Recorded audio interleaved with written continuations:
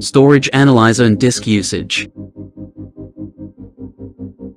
Storage Analyzer and Disk Usage is a highly effective tool for managing your device's storage. It offers a user-friendly interface with clear, graphical representations of your storage, including infographics like pie and sunburst charts. The app efficiently scans internal and external storage, SD cards, and USB drives to provide detailed reports on file usage, including name, path, size, and last modified date. It also supports cloud drives such as Google Drive, Dropbox, and Yandex Disk, allowing for seamless integration and visualization of cloud storage data.